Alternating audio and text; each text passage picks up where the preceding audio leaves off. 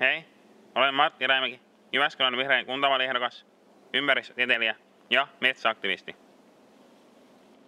Minua huolestuttaa tällä hetkellä erityisesti se, miten kymmenet tuhannet nuoret miehet ovat yhteiskunnassamme syrjäytyneet. Itsekin olen aikoina kokenut rankkaa koulukiusaamista ja juuri sen takia haluan, että miehet tässä yhteiskunnassa eivät joutuisi kokemaan samaa, vaan pystyisivät nauttimaan elämästä, toteuttamaan itseään. Kiusaukselle olisi pantava piste.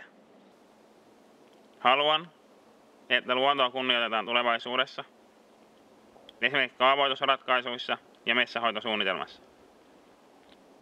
Haluaisin nähdä sen hetken, kun Tourujoissa on elävä taimenkanta. Kiitos.